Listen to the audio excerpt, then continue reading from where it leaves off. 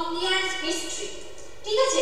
এই introduction of Indian history বলতে আমাদের প্রথমেই যে কথাটা মনে আসে, অর্থাৎ পুরো ভারতের, সমগ্র ভারতের ইতিহাসের কথা যদি বলি, সেই ইতিহাসকে আমরা বিভিন্ন সাব ডিভিশনে ইতিহাসকে বিভিন্ন সময় ভিত্তিতে বিভিন্ন এরাতে ভাগ করা যাবে বিভিন্ন যুগে ভাগ করা সেই ভারতীয় ইতিহাসের অন্তর্ভুক্ত, যে প্রাগৈতিহাসিক যুগ থেকে শুরু করে প্রাগৈতিহাসিক যুগের মধ্যে যে কটা যুগ পড়ছে, সেই রকম সেই যুগগুলো সম্বন্ধে আজকে আমরা জানব এবং ভারতীয় ইতিহাসে মানুষের মানব বিবর্তন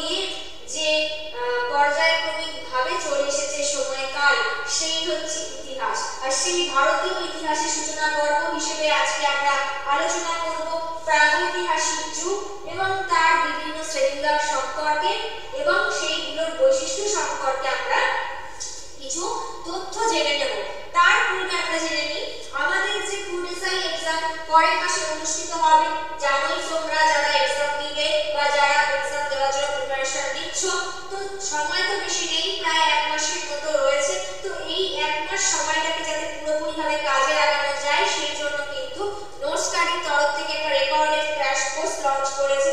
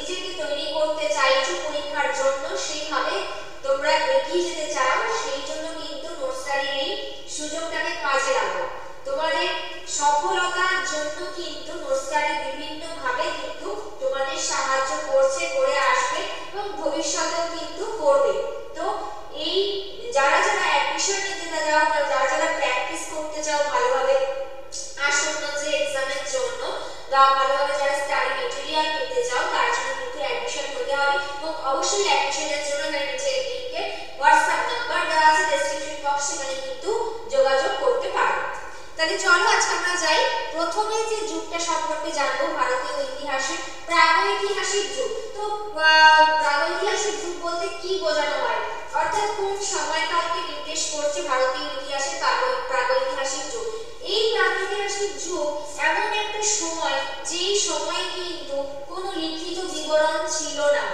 অর্থাৎ আমরা যদি আধুনিক ভারতের ইতিহাস দেখি, তাহলে সেক্ষেত্রে আমরা কি দেখতে পাবো?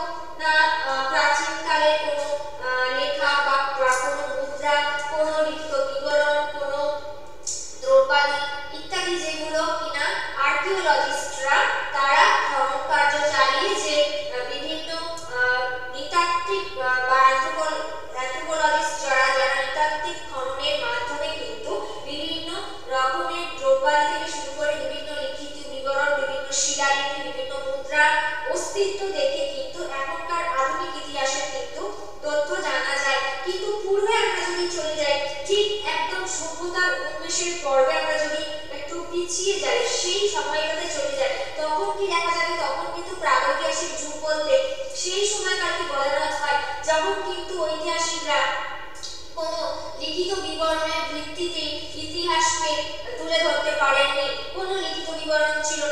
zero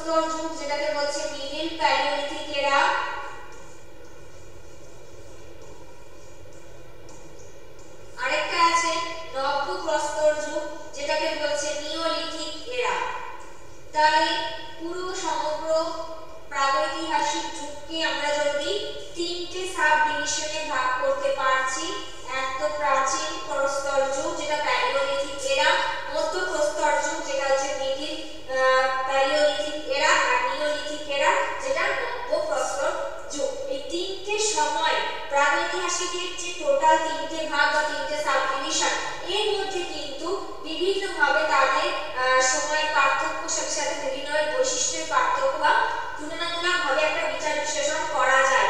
তাহলে প্রাগৈতিহাসিক যুগ বলতে মানুষ কি বুঝবে না? তোমরা কি বুঝলে না? যেখানে কোনো লিখিত বিবরণ ছিল না, যখনকার দিনে যেসব আদি মানুষরা যেসব দ্রব্যাদি ব্যবহার করতো বা যন্ত্রপাতি ব্যবহার করতো, সেই উপর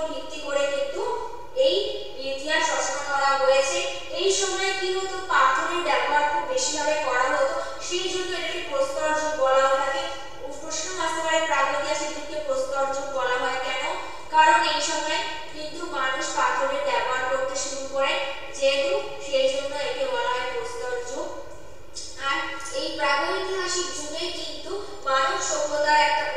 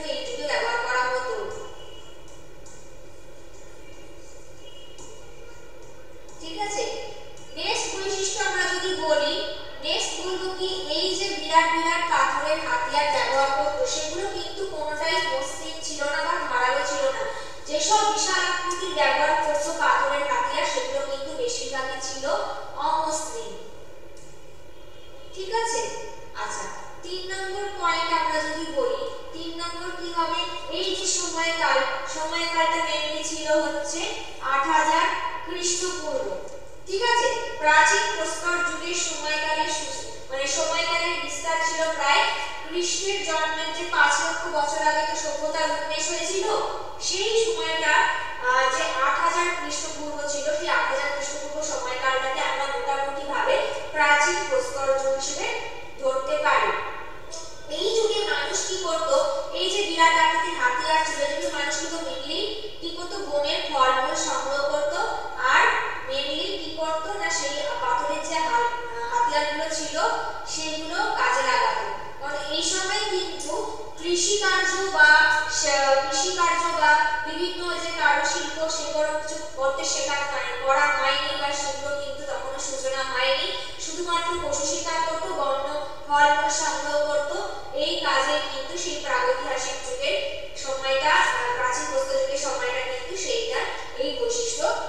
জিরো পরবর্তী যে মধ্য প্রস্তর যুগে আমরা যদি যাই মিডিল প্যালিওলিথিক এরা মিডিলে আমরা যদি দেখতে পাচ্ছি কিছু যে বিরাট প্রস্তর যে ছিল বা হাতিয়ারগুলো ব্যবহার করা হতো, সেগুলো একটু তুলনামূলকভাবে, প্রাচীন প্রস্তর যুগে তুলনামূলকভাবে একটু ক্ষুদ্রাকৃতির ছিল এবং সাধারণত এগুলো একটু অপেক্ষাকৃত মসৃণ ছিল।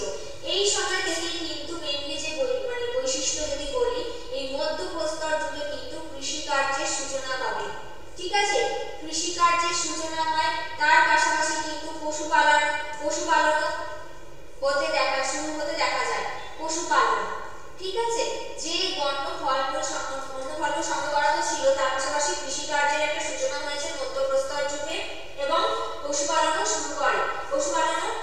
শুরু করে মানে জীবিকাটা আস্তে আস্তে এই দিকে স্থানান্তরিত হতে থাকে।